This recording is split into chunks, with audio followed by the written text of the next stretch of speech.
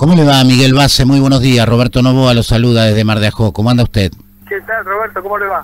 Bien, muy bien. A ver si nos puede poner sencillito qué pasó ayer en el Congreso, porque la gente lo que vio por televisión, por televisión fue un escándalo, este, y aparentemente el tema no estaba en tratamiento o, una picardía por parte de eh, la señora Ditulio como presidenta del bloque del Frente para la Victoria. Eh, a ver, Miguel, si, usted tiene la, la, capacidad de ponerlo en términos comprensibles para que el oyente lo entienda. Sí, mire, en realidad eh, se trata de la designación de dos miembros de la Auditoría General de la Nación. Eh, la verdad es que eh, estos dos miembros tranquilamente se pudieron haber designado con el nuevo, con la nueva Cámara de Diputados. ¿Me explico? Sí. el oficialismo se, digamos, se encaprichó en designarlos ayer y a mí me parece que comete un error importante Primero y principal, el tema no estaba en tratamiento. Y ayer había una sesión especial. En las sesiones especiales no se puede tratar los temas que no están en tratamiento, salvo que se apruebe el tratamiento por el 75% de los miembros presentes, de los, diputados presentes. Sí. Bueno, obviamente el, eh, el Frente para la Victoria no juntaba de ninguna manera el 75% de los diputados presentes, entonces desde ese punto de vista hubo una violación del reglamento porque allí expresó la presidenta del bloque del Frente para la Victoria que se había conversado en la reunión de la labor parlamentaria. La verdad es que tiene que estar escrito en el temario, si no está escrito en el temario no está en tratamiento.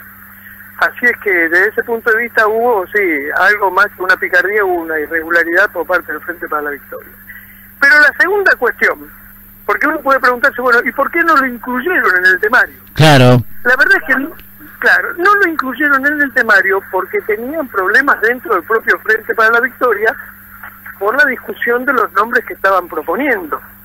Porque en definitiva terminan proponiendo dos nombres para la Auditoría General de la Nación que hoy son funcionarios del gobierno. Terminan proponiendo a Julián Álvarez, que es, como ustedes saben, está en el Ministerio de Justicia, y, y al presidente del Banco de la Nación Argentina. Ahora, ¿cuál es la tarea de la auditoría? La tarea de la auditoría es justamente auditar lo que ha ejecutado el gobierno. Es decir, que estos auditores se van a auditar la tarea que ellos mismos en parte han ejecutado. ¿Me explico? ¿Cómo eh. puede la Auditoría General de la Nación decir que tiene una, una actividad absolutamente imparcial si uno de sus auditores, por ejemplo, es eh, fue presidente del Banco Nación hasta ahora? ¿Cómo puede ese auditor auditar su, su, propia tarea al frente del Banco de la Nación. ¿Me explico? A ver, Miguel, eh, ¿cuántos miembros tiene la, la este, Auditoría General de la Nación? Porque estamos hablando de dos, pero la auditoría tiene más miembros. Tiene cinco miembros en total. De los... Cinco. Ahora, ¿qué ocurre? Cinco, eh, cinco miembros y eh, tiene eh, el, el, presidente de la auditoría que, eh, que corresponde al principal partido de la oposición. ¿Por qué digo esto? Porque si en las, el 22 de noviembre gana Macri la elección, el principal partido de la oposición pasa a ser el Frente para la Victoria. Por lo tanto, por lo tanto, por lo tanto, alguno de estos dos podría constituirse como presidente de la Auditoría General de la Nación. No, no, no, no, porque el presidente se elige aparte. El ah. presidente no, no lo aprueba la Cámara de Diputados, lo propone directamente el, el, principal partido de la oposición. Es decir, que el principal partido de la oposición tendría el presidente, además una mayoría eh, ya constituida por de los, de los auditores. Es decir, concretamente el Frente para la Victoria lo que está buscando es quedarse con el control de la AGN. Ahora, uno podría preguntarse, bueno, ¿y ustedes por qué le molesta? A mí no me molesta que, el, partido de la oposición tenga, si, si es que gana Macri las elecciones, tenga el control de la AGN desde el punto de vista del control de lo que pase con el gobierno de Macri. Sí me molesta que pretendan preservarse ese poder para auditar lo que ellos mismos hicieron en el gobierno, ¿no? Claro, claro, tal cual. Y dígame, ¿por qué no lo hicieron de manera prolija y de acuerdo al reglamento? ¿Por qué se apuraron? Porque, justamente porque las diferencias que tienen dentro del propio Frente para la Victoria, yo creo que es una señal que a ver, yo creo esto fue seguramente una imposición del Poder Ejecutivo que le ha exigido al bloque eh, oficialista que eh, saque esos nombramientos en la sesión de ayer y el bloque oficialista, justamente para quedar bien con la presidenta de la República, ha hecho las designaciones. Se han designado dos militantes de la Cámpora, esa es la verdad, ¿no? Ahora... Que seguramente no lo pudieron hacer con prolijidad porque a lo mejor eh, dentro del Frente para la Victoria no había acuerdo eh, en ese sentido. Ahora, han terminado, terminaron haciendo lo que les pidió el Ejecutivo, en definitiva, ¿no? Está bien. Ahora, a menudo favor le han hecho a su candidato. Nosotros leíamos políticamente y decimos que pareciera ser que Daniel Scioli es el candidato del peronismo, Mauricio Macri es el candidato de Cambiemos, y hay otro candidato más que es el Frente para la Victoria que quiere seguir teniendo poder más allá de lo que suceda el 22. Sí, duda. Con estas cosas no hacen más que deteriorar las posibilidades de su propio candidato, porque la verdad es que es una muestra más de la, de, digamos, del autoritarismo con el que se han manejado, la, falta de respeto a las instituciones, el atropello. A ver, si alguien, eh, digamos, al hacer este tipo de cosas ponen eh, de manifiesto con toda claridad que buscan evitar que se los controle, que se investigue lo que pasó en el gobierno, y esto la sociedad lo percibe. Yo creo que el principal afectado por esto es, como usted dice, el propio candidato a presidente de ellos, ¿no? Va a ser una última pregunta, si usted es tan amable. Eh, de ganar el 22 Mauricio Macri, tiene que constituir tres gobiernos, la Ciudad Autónoma de Buenos Aires, la provincia de Buenos Aires y la Nación.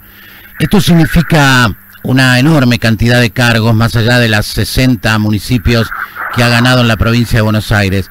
Los pone a ustedes, los hombres de la Unión Cívica Radical, en una inmejorable posición, porque tienen los cuadros técnicos, los cuadros políticos, este, para poder ocupar esos espacios.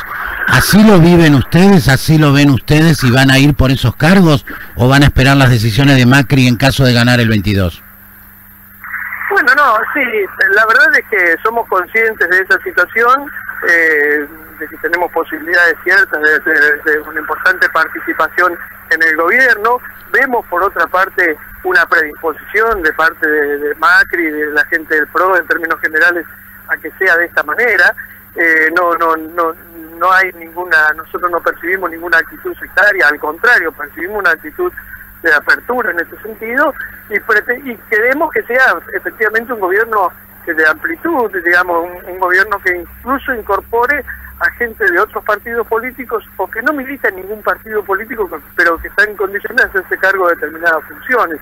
A mí me parece que esto es muy importante, nosotros estamos evaluando esta posibilidad con mucha responsabilidad, sabemos que tenemos que hacer una muy buena gestión en la provincia de Buenos Aires, y que hay que hacer una muy buena gestión en la nación para resolver los problemas que, que, la sociedad demanda que se resuelvan con razón.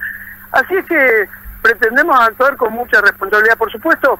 Estamos también todos esperando el resultado del 22 de noviembre, porque, bueno, sería un grave error, eh, digamos, restarle importancia a ese compromiso electoral, que si bien desde nuestro punto de vista eh, tenemos serias condiciones de, de, triunfar en ese, en ese compromiso, bueno, me parece que no se puede de ninguna manera ignorar, ¿no? Pero, pero la verdad es que sí, que el radicalismo está en condiciones de aportar al gobierno y me parece que todos vamos a actuar con la mayor responsabilidad porque lo que nos interesa efectivamente es eh, hacer un buen gobierno, ¿no?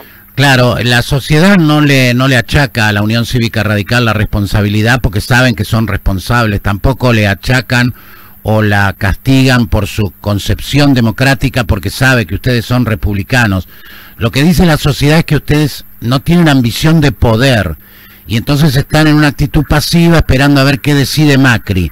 Y en realidad quisiera ver a los radicales porque sería una, una garantía también para aquellos que Macri les resulta un tipo difícil de votar por su condición de liberal o de empresario una garantía que ustedes tengan una ambición de poder decirle a Macri, mirá, nosotros vamos por estos cargos, queremos estos cargos.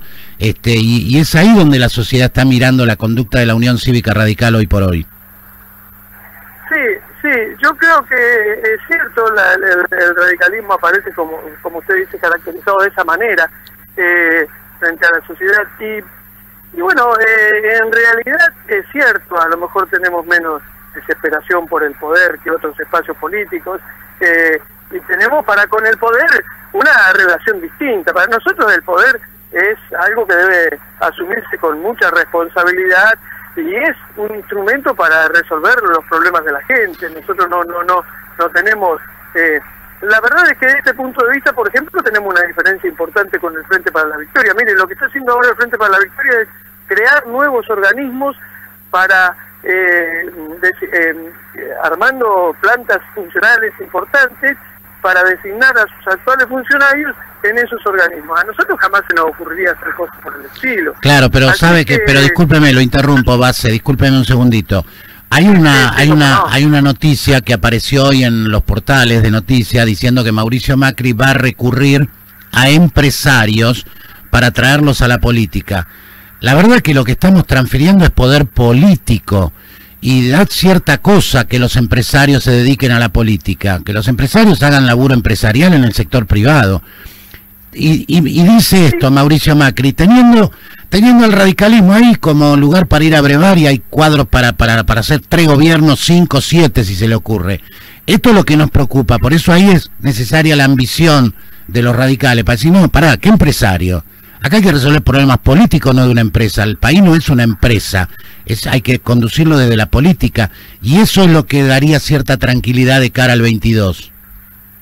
Sí, sí. Ahora yo le digo con toda sinceridad, me parece que en ese sentido hay mucho comentarios, pero hay poca...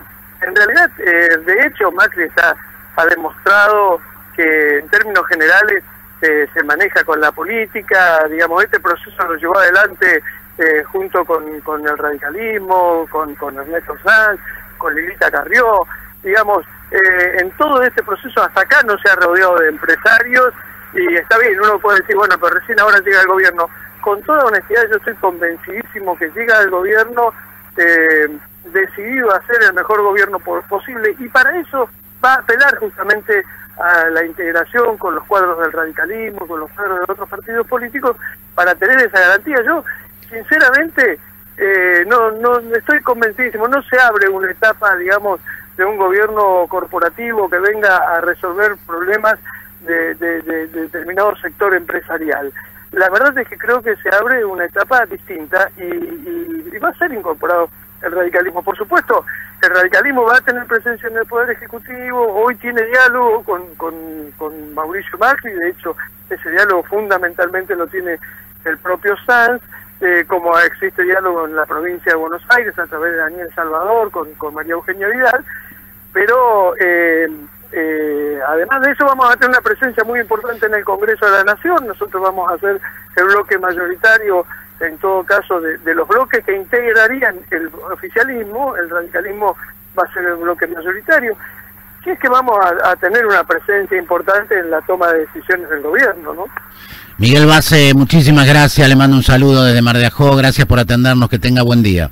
No, gracias a ustedes, al contrario, muy amables. Hasta luego, hasta luego.